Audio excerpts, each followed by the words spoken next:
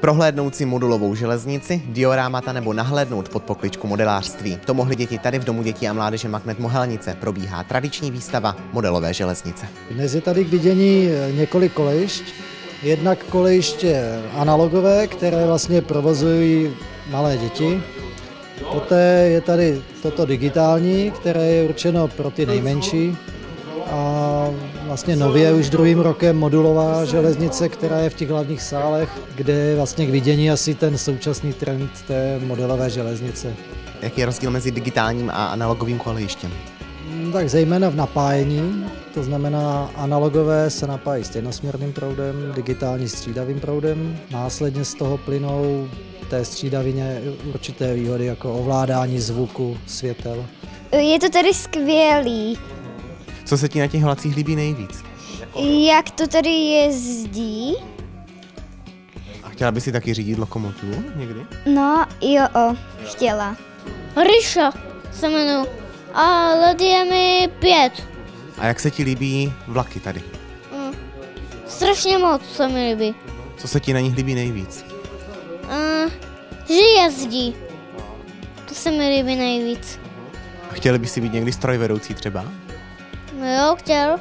Pokud by nevyšla vysoká škola na chemii, na chemika, tak by jsem byl určitě tady někde jezdil v dráhách. Třeba jako tady, možná tady s banánem, a nebo jako jezdit s motorákem.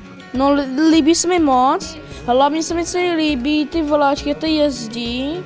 No a, a ne, ne, nejradši by se si jeden vzal dom. Mně se na těch vlacích nejvíc líbí, že oni, jak se spojují, tak se mi to tak nejvíc líbí.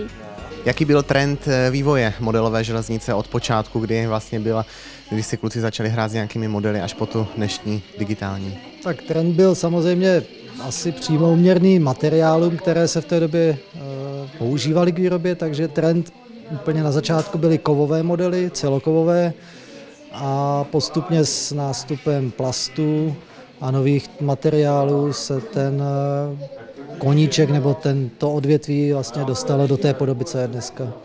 Kolik členů má modelářský kroužek tady při Domě dětí a mládeže Magnet? Modelářský kroužek je rozdělen na dvě části. První část určená dětem a mládeži, tak tam má 11 členů a klub dospělých, ten má 9 členů. Ty chodíš do kroužku modelářů, jak je složité ovládat tento model?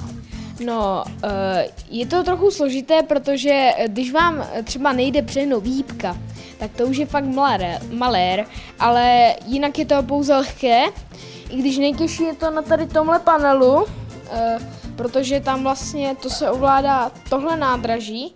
Jaká je budoucnost modelové koleje, modelového kolejiště? Tak to nikdo neví, ale už jsou takové střídky, to znamená asi ovládání bezdrátově, to znamená přes Wi-Fi, Bluetooth a následně celkově to ovládají mikroprocesory, takže asi ten kompletní digitální svět. Výstava modelové železnice přilákala v Mohelnici přes 200 dětí a to je důkazem toho, že akce je velmi úspěšná. Šimon Škůb, Mohelnická televize.